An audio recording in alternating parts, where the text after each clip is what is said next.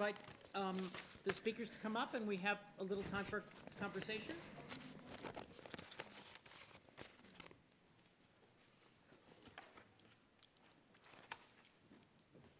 Oh, we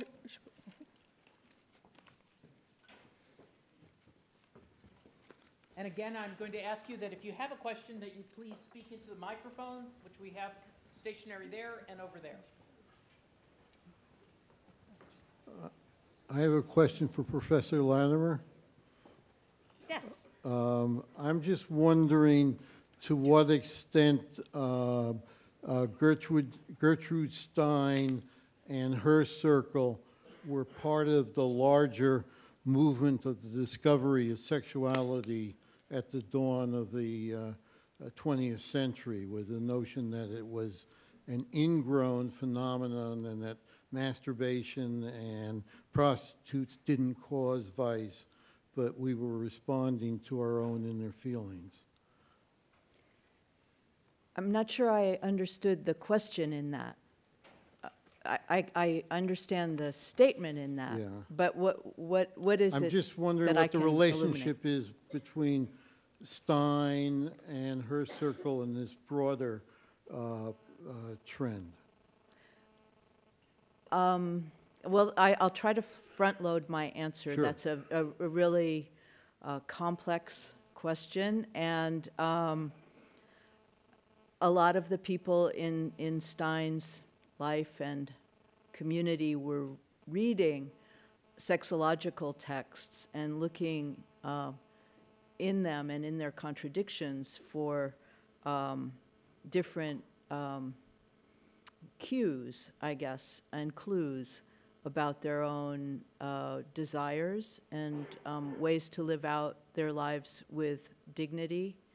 Um, I think particularly for lesbians, because women uh, at that time uh, were disenfranchised, were not fully citizens, um, that uh, the question is perhaps even more complex than it, it might be for their male uh, counterparts and for the men that, that, that Stein hung out with, of what relationship they might have to emerging notions of uh, uh, dissident sexuality or, or variant sexuality. Stein herself um, uh, was, um, I think, uh, convinced by reading um, Otto Weininger that genius was inherently male and that lesbians moving toward a masculine position um, were more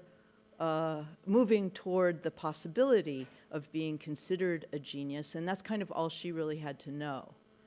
Uh, that's really what interested her, and that's really what interested her why she hung out with men instead of women as well, um, because for her, that position and its possibilities, the position of masculinity, the socially enfranchised position of masculinity, was um, was where the horizons were were open and where she saw her future and where she wanted uh, to be. So. Um, complicated not just about sexuality but but but about possibility and how how to live uh, fully a, a, a creative uh, uh, life and to become a, a legend which was manifestly her desire but um, other people were more in you know critical dialogue with sexological texts uh, like Virginia Woolf or even uh, Djuna Barnes or Natalie Barney uh, than uh, St- Stein was. For her, um, there was there was you know, um, she she had her she had different priorities. Thanks for your question. Hi, um, I, while, Teresa, while, just since you were talking, it was a really wonderful paper, and um, I also just have more of an observation and a comment, um, which is about, I thought, I found very provocative your statement about how Faith Ringgold's work registers the intimate and domestic spaces within, from within which art emerge, or from which art emerges, and this being the place where it happens in a way first. Um, I found that really provocative um, and a beautiful way of connecting the kind of sentimental texture of the work itself, um, which is I, I, it's a kind of work that doesn't kind of gel with discourse in contemporary art history um, and, and you know, sort of notions of sophistication and value and the like. And I think you did an incredible job of just circumventing, short circuiting, totally disarming um, um, that way of thinking. So, um, and this is sort of related. I'm going to segue to Tavia's talk because um, I started I started working um, both in pop art and then also in Thomas Eakins, which is a weird pairing um, with somewhat obvious connections too. Um, but um, uh, one of the things that I've always been drawn to in Eakins's paintings, as well as portraits, other portraits from 19th century American painters, or Americans were disidentifying with America. John Singer Sargent pops into mind. Um, is the rich texture um, um, of their canvases when they take on dress, and especially feminine dress. And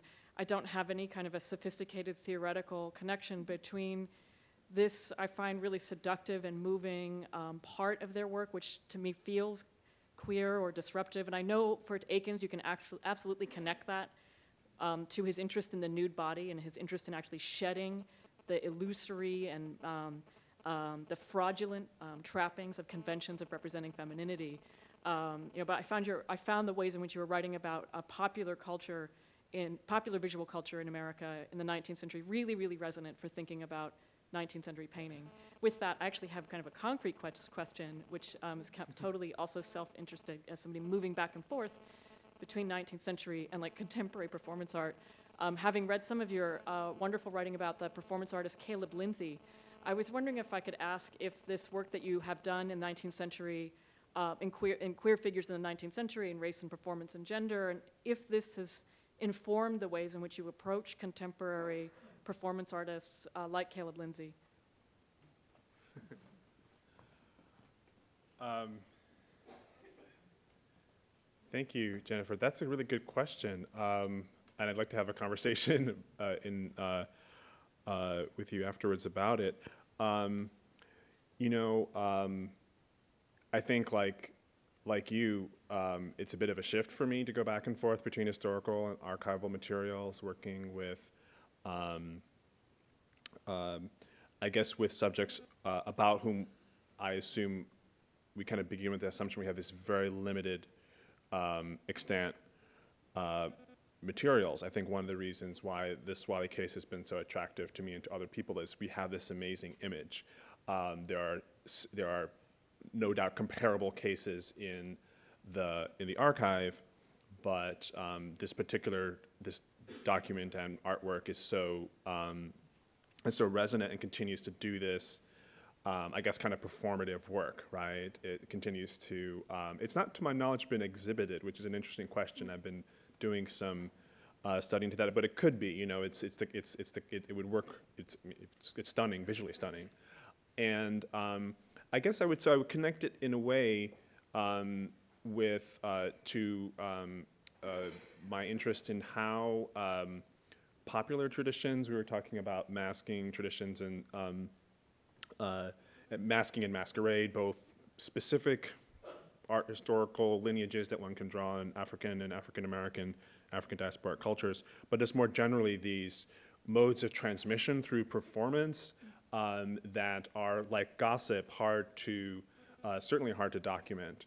Um, and another reason that the, um, the Sewally print has proved so rich and suggestive to people because it's sort of at you know about a century before most people begin to look at things like drag balls in Harlem in the, during the Harlem Renaissance, we have this we have this amazing uh, image, which which makes us wonder like how long has this been going on, and we don't necessarily know, but I think by looking at parallel by by drawing uh, by drawing um, uh, at unrelated imagery of masquerade, um, uh, dress, uh, self-fashioning in that period, I can look to the different moments in which these traces kind of emerge in the archive and kind of indicate a kind of richness of a, of a popular tradition.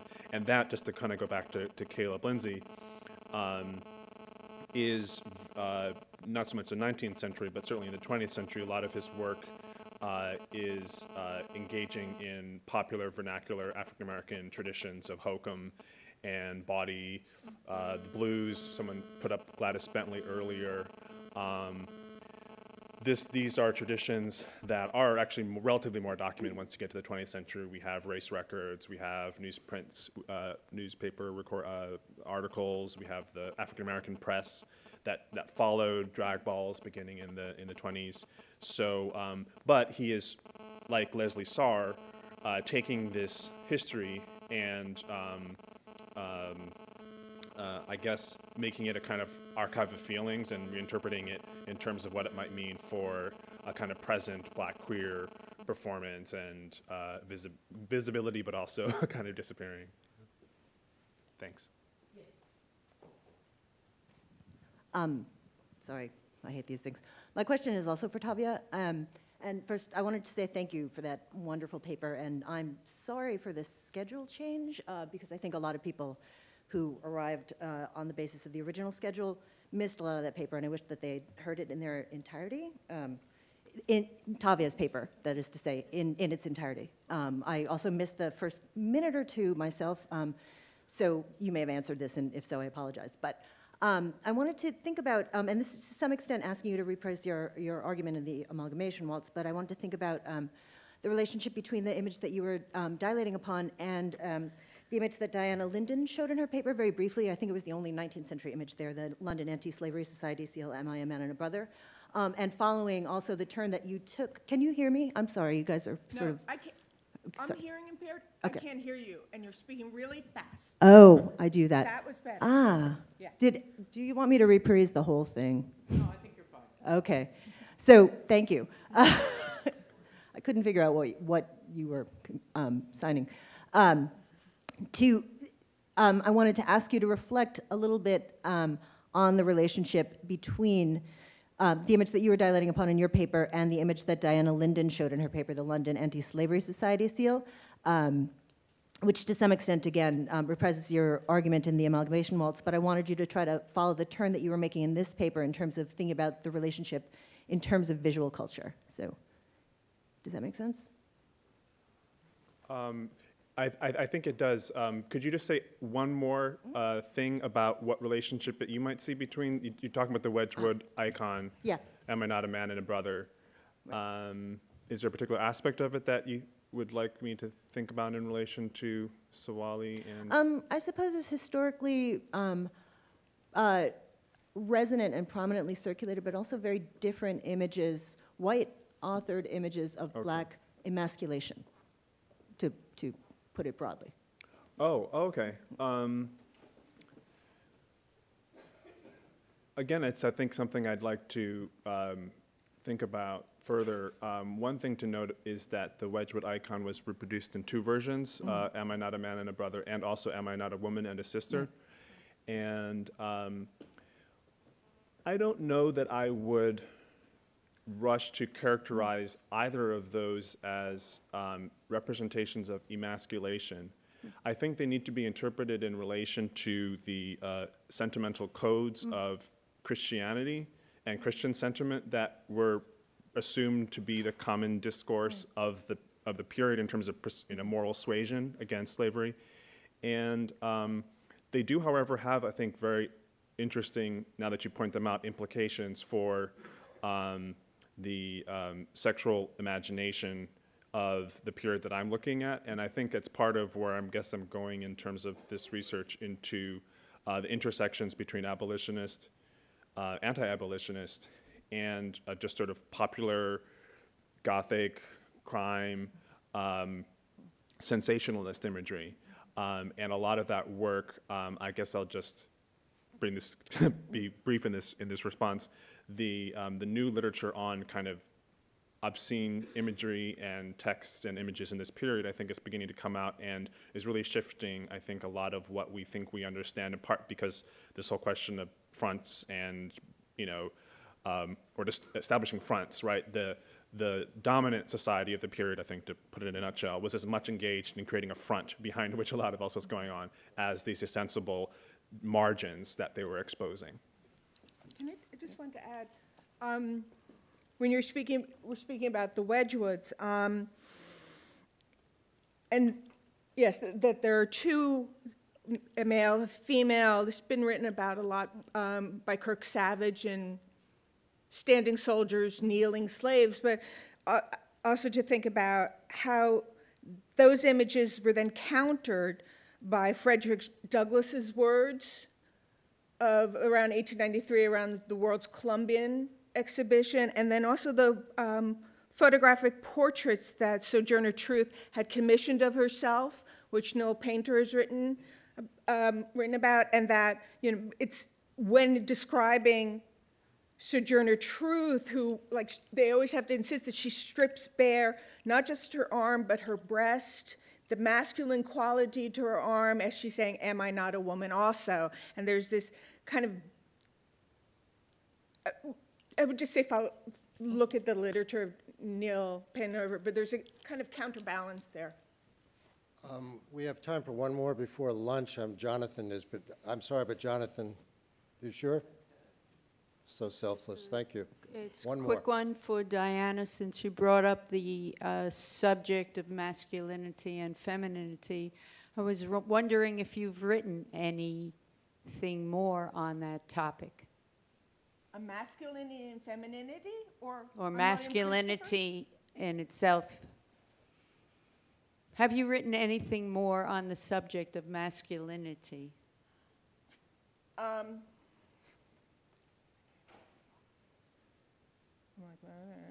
Uh, yeah. Oh.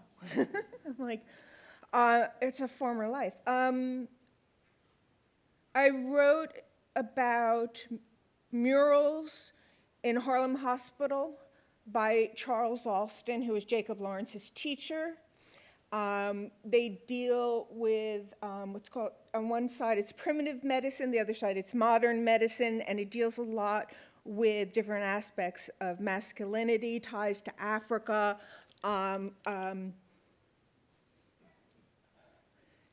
skin tone and privilege within the African American community, and also outside voices who did not want the murals to be painted um, because, in the words of the 1930s, Negroes would not be interested in Negro subject matter, and Harlem won't be Negro. So I, I guess that was it. Otherwise, it's been a lot of Ben Shahn for a long time.